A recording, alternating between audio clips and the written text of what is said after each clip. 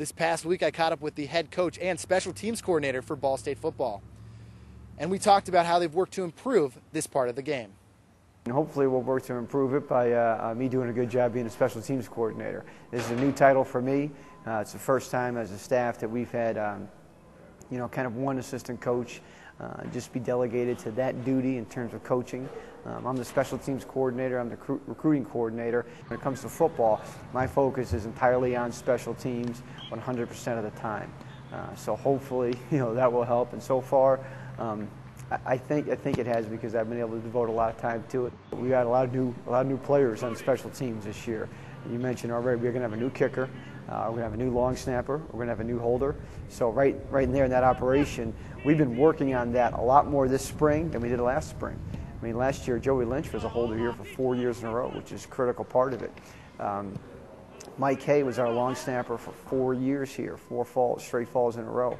Uh, but Cody Molenkamp is uh, is also from the same high school, as a matter of fact, Coldwater, Ohio. Who's going to be the replacement to Chris Jackson, who did a great job when you look at his body of work over the last four years and uh, game-winning uh, field goals and, and how he kicked the football for us. And, and Jacob Hogue and uh, even McGarvey, who's a young man who, who will come in in this freshman class. We think they both have a, a lot to offer us. It's challenging because you're going to have somebody who hasn't done it yet, you know, out there. Uh, right now, uh, Jake Hogue is a, uh, you know, is a freshman for us. He was a redshirt freshman this past year.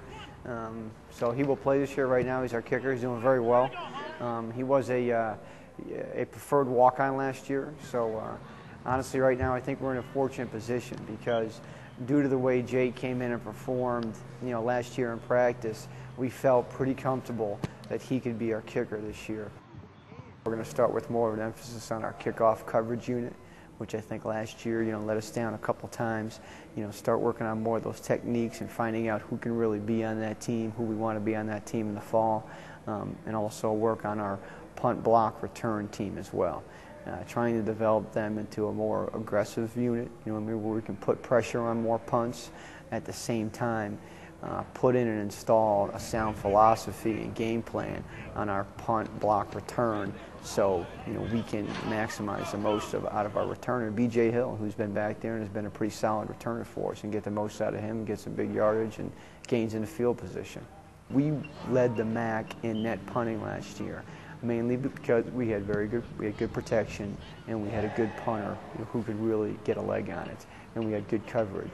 So I would say that is our strength right now. Chris Miller, uh, all conference punter, uh, an All American on some teams as a punter. He'll be a preseason All American guy, I think, in some picks. Uh, you know, Chris did a great job in punting and uh, averaged 47 yards per punt. We got to work harder on our punt protection, but be able to keep that operation time down, um, to keep that as our strength, uh, which was last year and probably is right now.